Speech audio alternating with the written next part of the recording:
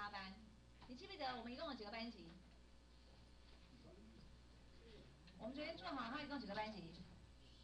十个，十个班级。可是他说他只要一百零八班就好，好一零八班就可以了，而且是到四月份为止啊。所以他有，所以说到底是从几月开始？是从二月份开始哦，从二月二几号嘛，对不对？从就是暑假到四月份为止啊，对吗？他没有说嘛，可是我们我们记得我们那时候的日期，年月日的时候刚好到四月份。所以我们这四月份根本就不需要去筛选啊，因为刚好里面就是所有东西就是从二到四月份都有，所以这个这个东西根本就不需要筛选。好，年月份不管它，它不会说像我们之前要到三月三月底为止，那当然我们要去筛选啊，这个不需要筛选。好，成绩低于低于六十五分的，而且是不含六十五，所以我应该怎么？我到时候找出超性成绩的时候，我必须要去做一个筛选的动作。请问一下我要怎么筛选？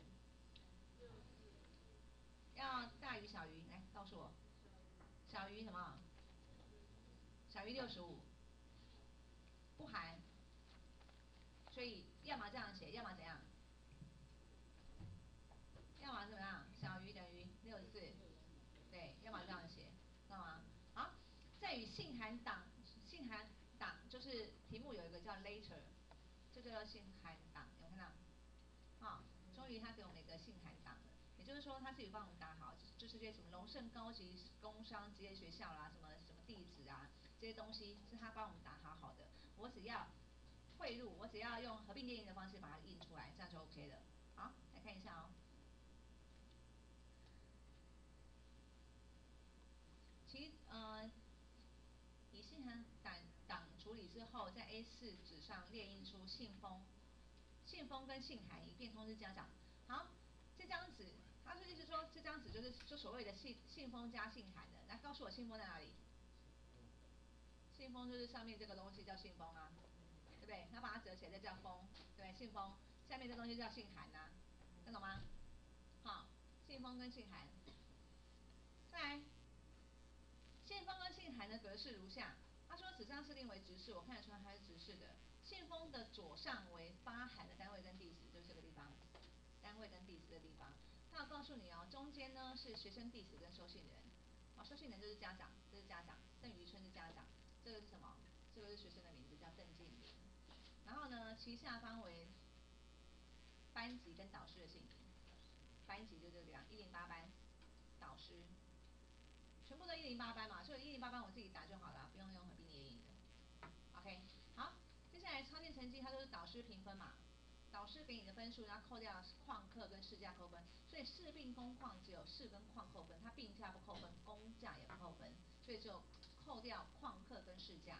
所以我们等下去找找那个价各价别的话，我们只要是找找这两个价就好了，其他我们不需要找。所以第一个部分我们必须要去找这个栏位跟这个栏位嘛，对不对？导师评分我们也要找出来啊，对，我们一定要找到这三个栏位。好，接下来看一下超新成绩计算到整数位，小数位四舍五入。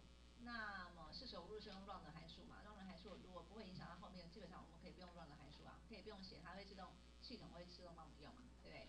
你要当然你要自己打 run 的函数也可以。好，旷课一节扣一分，好，跟我们跟我们学校一样，旷课一节扣一分，试驾十二节扣一分啊，而且为啥十二节不扣分呢？这么好？我们有试驾，有啊。来，公价跟病假不扣分，导师评分请直接利用超信成绩档内的导师评分就可以。他告诉你哦，导师评分的话，你就直接找超超信成绩档是什么？超信成绩档有没有看到？学生超信成绩档在这里，在这里面，导师会给每个同学一个基本分，一个评分。所以我们等下去找到这个东西嘛，好，所以我们一至少可以要一定要是三个单位嘛，对不对？接下来他说，请砍入信封及信函的收信人的地址、家长姓名、学生姓名、超信成绩。超信成绩为经上市上列公式，公式就这个地方嘛。导师评分，老师给你几分，扣掉旷课，啊一节就一分嘛。是这样的话除以十二嘛，对不对？除以十二，然后用 int 函数嘛，那你就可以知道你的分数了。你的分数如果小于六十五或小于等于是六十四，那就可以知道说，哦，我必须要寄给家长了。这你们常常知道啊。对不对？双伟应该收到了吧？你应该有收到吧？哦，不知道前两个礼拜有送出去的。好，你寄到群中去的。哦，我帮你挡下来。可是他还是他还是决意要寄出去，我也没办法。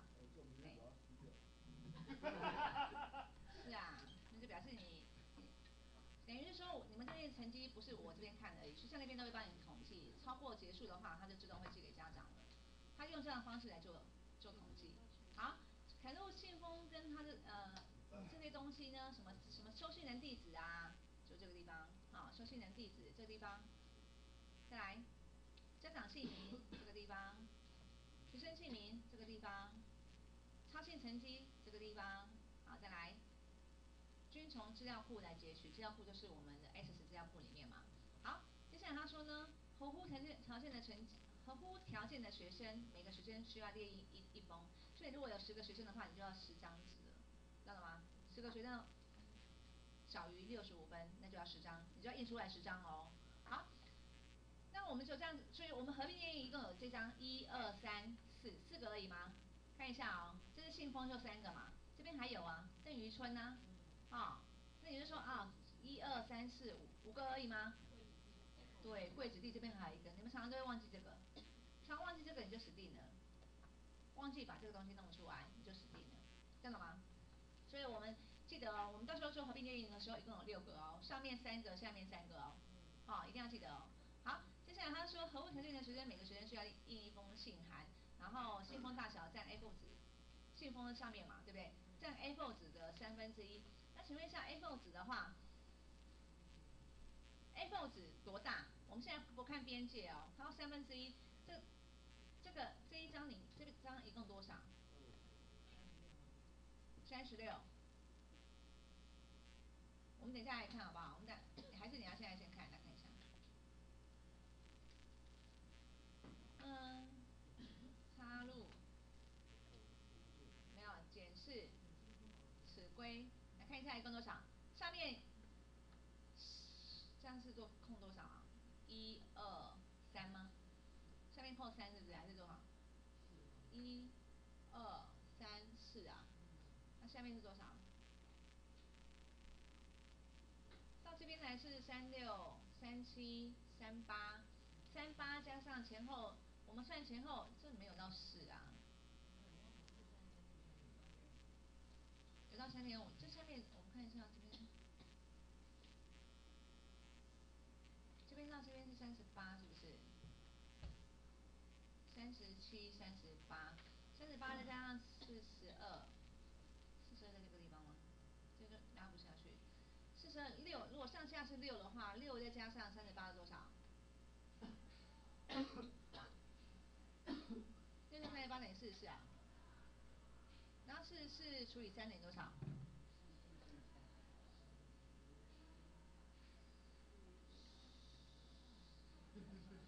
十什么十啊？十什么？我们来来说那个，我们先把资料交出来，我们再去找好不好？先把资料交出来，我们再去找。对，你们再想一想。好，所以我们来看一下哦。附件题组一附件四的关键题目要求一零八班超信未达六十五分，我打错了哦，赶快改过来，六十五分。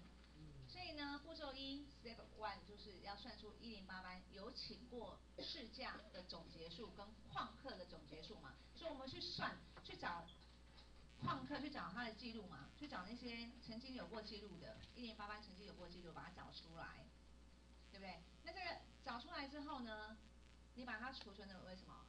一零八班试旷的学生，有试驾跟旷课的学生，听懂吗？好，然后呢？我们把它找出来，你看我只要去找一个 record 的，去把资料叫出来，把班级座号给叫出来，然后我去，我不用说像之前要用 left 函数啊，不需要啊，不用那么麻烦，我直接因为我只要找一零八班嘛，所以我直接把一零八班，我我也不要不需要，我用内部的函数是为了要找出一到十班，可是现在我只要八班就好了啊，所以我只要这边打一零八双引呃万用字元双引号，我只要。找出一零八班就好了，然后呢，群主，也就是说呢，把那个座号一样的呢试驾给我总计起来，旷课总计起来，所以这边就会有啦，好，答案的话是啊，一号试驾一共有零，旷课有二，十四号有多少？多少，它就会算出来了。那么它为什么市价零跟旷课零，它会把它叫出来？原因是它可能是病假啊，它虽然不扣分啊，可是可能它可能是病假或公公公假啊，所以它这些记录还是会在这个资料表里面，这懂意思吗？OK，好，所以呢，我们先把这个东西给叫出来哦。好，一样建立什么？建立查询，去把 record 叫出来。好，同样的把班级座号叫出来，它一样会出现四百七十九笔。啊，三百零一笔而已啊。好，四百七十九笔是学生，一共有三百，一共有四百七十九个人。可是催矿记录一共有三百零一笔。然后三百零一笔呢，里面呢我不需要那么多，我的准则呢是一零八万用字元，要不要双引号？虽然看，我也不知道，试看看，哎，不用双引号，OK。所以呢，它呢这个班呢一共有几个人？一共有几个人有缺矿？十五个人有缺矿。好，十五个人目前有缺矿的记录。好，接下来呢，我把，因为他说试驾跟旷课才要扣分啊，所以，哎，是旷课在前面还是试驾前面？无所谓啊，反正呢，我就把这些人叫出来看一下啊。好，这些人呢，试驾跟旷课大概是这样的，这样的大，这样的结束。好，然后呢，我就把，你看哦，这三十三号是三十三号，有没有看到？三十三号，这里是三十三号嘛，所以三十三号有两笔啊，那你可以要，你要把三十三号给加起来啊，好，变成四八矿六嘛，是不是？好，两笔都是三十三号的，所以呢，一样在做一个 summation 的动作。好，把市价总计起来，把旷课总计起来，班级座号还是一样的群组哦，好，群组的话，相同东西放在一起，就叫群组。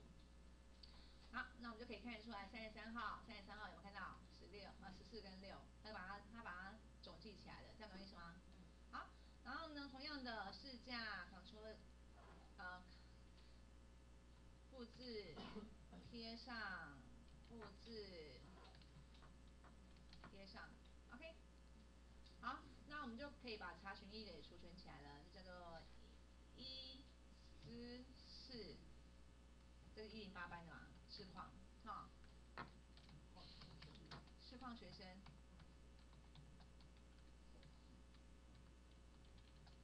要要你们写这么长的原因，是因为我们等一下要要做一个全部学生，那你们才知道说，哎，这两张表有什么样的差别，OK。所以我们市况学生的记录都叫都是叫呃叫出来了，我们去看一下好不好？我们看一下超性成绩，来看一下哦，一零一班的一号老师给了八十二分，二号老师给六十四分，所以你可以看一下所有学生。好，我们来看一下哦，每个班级的学生就做好了，每个班级的学生每个老师都有给他相对应的一个评分。OK，那我们看一下，我们刚刚做好，比如说一零一班八十二，八十二分，一零一班一号给他八十二分，看一下他，我们这边只有一零八班出现嘛，那我们就看一零八班一号，我们去看一下一零八班一号。好，一零八班一号，老师给他六十九，九分减掉市跟矿的扣分之后，就是他的超性成绩，所以呢，我就要想办法把。它跟它连接在一起，导师的分数要抓出来，市况的总计要抓出来，听懂吗？好，那我们来看一下一零八班六十九分，如果六十九分的话，扣掉它旷课两分，请问一下一零八班一号，他的超性成绩应该几分？应该六七嘛，对不对？因为他没有试驾嘛，直接扣了两分，六十九减二等于六七，对不对？好，那我们可以知道说，我刚刚已经说过了，这边康，呃。这是 conduct 里面的记录，里面应该会有四四百七十九笔，有没有？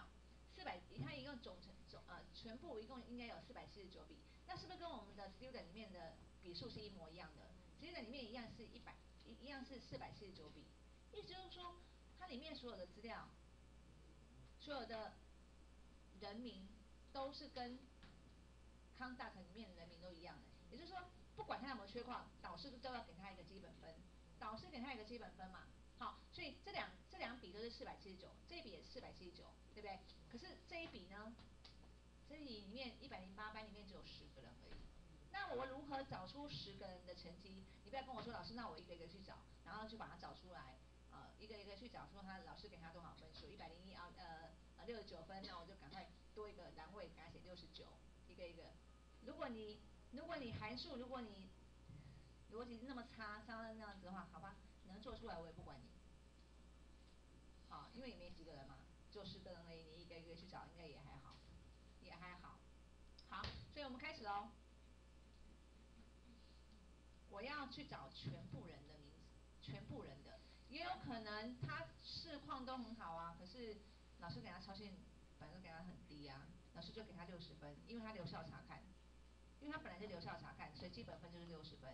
虽然他后来表现很好，可是他基本分就是六十分，所以我为了要想说不要有那个万一，所以我要把所有的资料交出来，把一百零八班的所有人资料交出来，知道吗？好，所以我开始来做喽，我来做一个查询。我要建立一个查询，接下来呢，因为他要家长地址嘛，还要呃家长电话，还要呃学生的呃学生的呃的基本资料嘛，对不对？所以我一定要有个 student。然后呢，导师的导师的分数我一定要给，还要一个什么？市况学生的资料也一定要给。这两笔一样，这两笔都是四百七十九，我们刚看过对不对？这两笔都四百七十九哦，这里面只有十个人而已哦，这只有十个人而已哦。好，开始我来做做关联哦。好，这跟这个哪个可以关联？班级座号跟班级座号嘛，对不对？好，然后这个跟这个嘞，一样是班级座号。OK，好，那我们先我们先来这样子哦，我们都不要管那个那个连接的问题，我们现在这样这样连接哈。我按照我题目的要求。题目要求什么东西？要什么栏位我就叫出来哦，住址对不对？第一第一个栏位是住址哦，好，住址叫出来。好，第二栏位是什么？邓于生是什么？家长的名称对不对？家长的名字对不对？接下来是什么？接下来是班级呀，他有没有要座号？你有你你有需要去用 left 函数去把一零八班给叫出来吗？应该不用，我自己打可不可以？我自己打一零八班就好啦。所以班级不用管他，这样懂不懂意思？班级不要理他，因为他也没有要做好，除非他要做好，那我当然是是做号的话，我要找后面后面两个数字嘛，刚好要用 right 函数了，可是不一样，都是一零八班，所以一零八我自己打就可以了。然后接下来郭静啊邓静玲是什么？学生的姓名嘛，对不对？好，接下来邓宇春刚刚已经给了，对不对？邓静玲也给了，对不对？六十二分，六十二分这是什么成绩？是超线成绩，对不对？所以要算超线成绩之前，我要先把导师评分叫出来啊。导师评分叫出来，超线成绩我们去 Excel 做，好不好？或者是哎，这边应该也可以做啊。好，我们先这样说来看啊，试驾，旷课也把它叫出来，好，试看看。那这样是不是可以算出来了？对不对？导师评分六十九，然后旷课两节等于六十七分嘛。然后这样这样就可以算得出来，不是吗？你看有没有这个人导师就给很低呀？哦，他他没有行什么价，所以导师给只给六十五分啊，可能是留校查看的，那也不一定啊。好，那我们看看还有什么东西？一二三四五六，还要还要还要再算什么东西？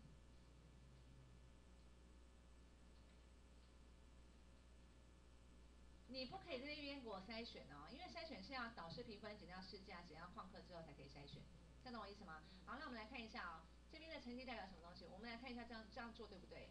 这样做出来的东西是代表什么？代表一百零八班吗？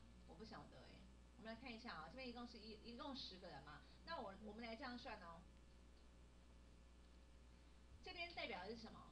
这样这边代表的是它只会出现什么？因为这边只会出现什么？这边我们看看它这边一共几几个人好了，我们来看一下这边一共有几个人。一二三四五六七，一共十个人，对不对？一共十个人哦。可是他这样算出来的成绩，我不知道。我说过，他有可能导师有可能一下子就给六十分的，可六十分不会出现在缺矿里面呢。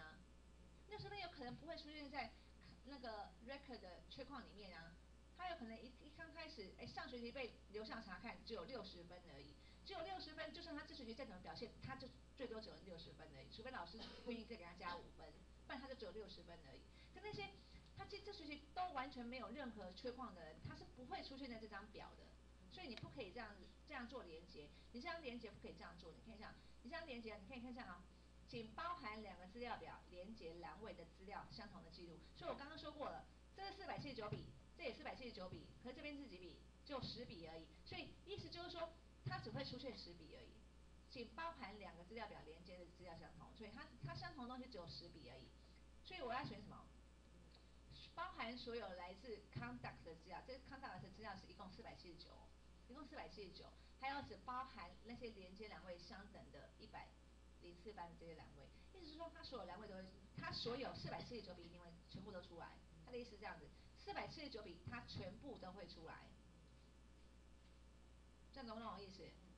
好，我们来看一下哦。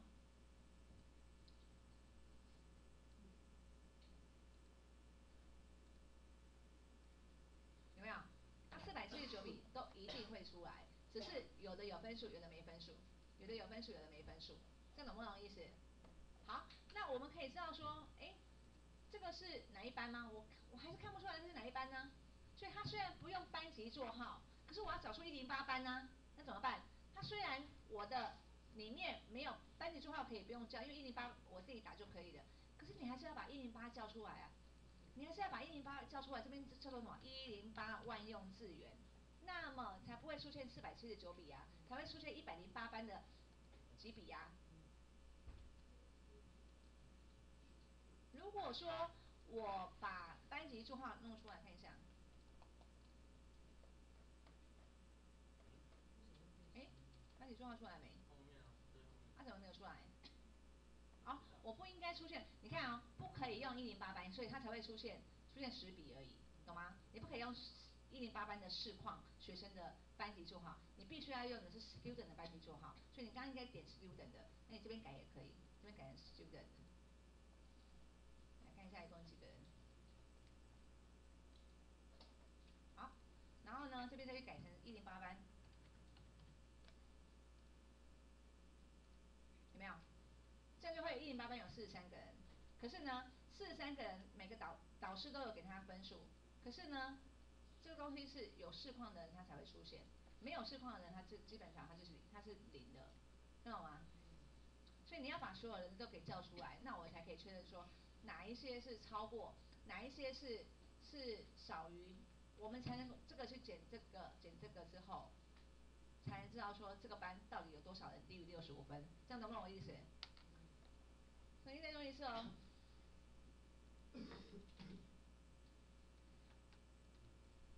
先把四百七十九笔的学生的基本资料，因为学生基本资料里面有住址、家长电话什么的，然后呢，导师里面导师也给四百七十九个学生基本分数，导师评分的。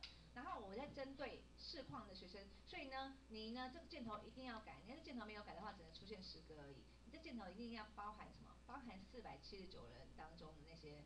那些人哦，都要让他出现哦，然后我再去找出一零八班的资料。所以呢，好，那没关系，那我们大概知道的时候，记得直接就一零八班这边打一零八班这样就好了，把四十三把四十三笔也叫出来就好了。好，看一下没有？把四十三三笔叫出来，四十三笔叫出来之后呢，依照我的合并单位需要什么单位，我们把它叫出来哈，需要住址，需要家长的姓名，需要什么学生的姓名，还要需要什么？分数，好，六十二分。分数的话就是导师评分，然后呢，试驾旷课叫出来，这样就好了，看到吗？好，一共四十三笔，那么我就可以储存了。嗯，储存一之四，零八全部学成四十三笔，听懂吗？哎，这边为什么变这样子啊？看一下，家长住址，这边为什么是这个东西啊？没有啊，这边有哦，因为出去，因为我按两个，因为我按两次啊。哦，因为我按两次。好，删除。直接按 delete。按两次的话，第第二次他就不会点，他就不想要给你什么住址，啊，什么样的单位名称了。这样懂意思吗？那这样子，我一零一零四班的一啊一零八班的全部学生跟一零八班的市况学生的资料，我就可以做完了。那么等一下我就可以拉过去做了。这样懂吗